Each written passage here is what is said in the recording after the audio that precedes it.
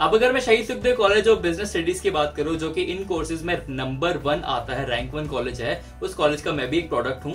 तो 700 में से जनरल कैटेगरी के लिए अराउंड 600 अगर आप लेकर आते हो तो आपका पक्का Shaheed Sukhdev college of business studies में एडमिशन हो जाएगा इस साल। ओबीसी की अगर मैं बात करता हूँ तो 450 टू 470 के आसपास अगर आपका मार्क्स होता है तो आपको स्टार्टिंग की फ़र्स्ट या सेकंड लिस्ट में आपको आराम से कॉलेज मिल जाएगा। एस सी वाले बच्चों को भी 350 आउट ऑफ़ 700 में भी आराम से कॉलेज मिल जाएगा। तो टेंशन मत लो, जितनी तैयारी करनी थी वो हो चुकी है मार्क्स आपके सामने आ चुके हैं। अब सीधा लिस्ट का वेट करो, आपको कौन से कॉलेज में एडमिशन मिलेगा, जो रिज़र्व कैटेगरी वाले स्टूडेंट्स है, सारे डॉक्यूमेंट्स रेडी रखो। कुछ भी खराबी होती है तो आप जनरल कैटेगरी में काउंट हो जाओगे।